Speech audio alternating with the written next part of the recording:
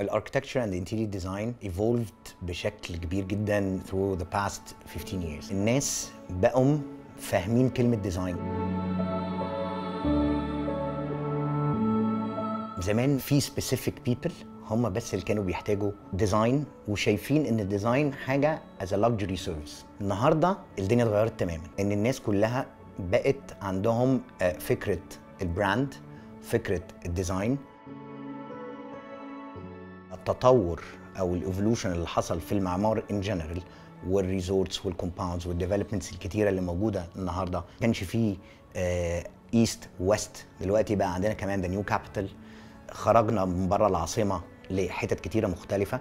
فأصبحت الناس ال appetite بتاعتها حاسة إن هي محتاجة design plus the evolution of the media, the evolution of the social media, of the digital world, the Instagram. People ابتدت تشوف حاجات and they want to مش يقلدوا بس يبت- يبت- يبتدوا يتفرجوا. once ان انت شفت وخزتهم بالمعلومات دي in general حصل evolution مختلفة تماما فالناس بقت عايزة ده عايزة تشوف ده سواء كان عايزة تشوف محل شكله حلو عايزة تشوف سينما شكلها حلو عايزة تشوف restaurant شكله حلو كل واحد عنده conscious إن هو عايز بيته يبقى حلو مكتبه يبقى حلو لبسه يبقى حلو. كل ما عينك بتشوف كل ما بتبتدي تتغير والناس ما بتبقاش حاسة. وأنت هتلاقي إن ان ان, إن, القصة دي حصلت مش بس architecture و interior لا هي حصلت بعوامل كتيرة جدا. هي اللي خلت الد- الدنيا مختلفة تماما من 15 سنة اللي فاتوا غير دلوقتي خالص ولسه هتروح في حتة تانية أكتر بكتير من كده.